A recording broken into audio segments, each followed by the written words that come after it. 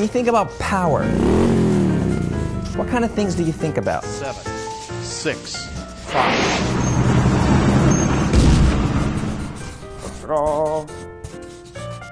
Let's try another one. When you think about things that are simple, what kind of things come to mind?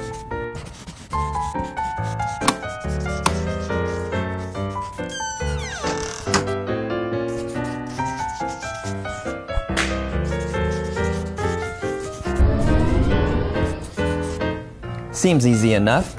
Two very basic concepts by themselves. Now, let's talk about these words in terms of a digital audio system.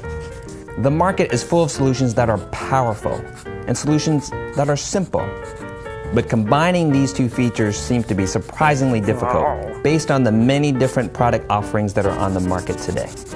If an audio system is considered powerful, then it usually means really complex and confusing. For the integrator, it means a lot of extra time spent learning the new software and hardware and how to make this powerful system work in a given installation.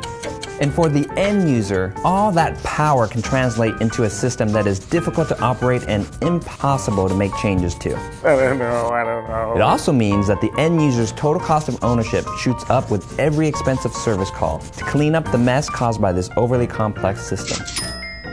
On the flip side, most audio systems that are considered simple are just stripped down and lacking most of the great features, all for the sake of saving on cost and hitting a price point.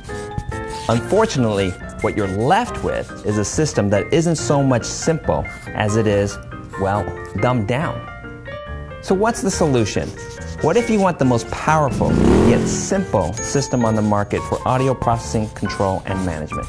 QSC has the solution. It's called QSYS. And over the next few minutes, we're going to show you how this revolutionary system is so powerful, so simple. This is QSYS.